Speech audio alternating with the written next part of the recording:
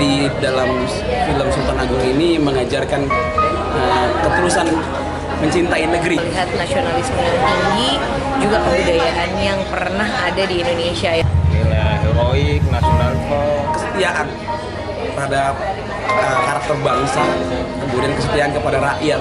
Baik sekali ditonton oleh para pelajar, para remaja, kaum milenial, bahkan para guru. Bagaimana menumbuhkan rasa cinta tanah air itu nanti bisa menyebarkannya ke anak didiknya. Selain dikenal sebagai sosok kesatria, dia adalah budayawan.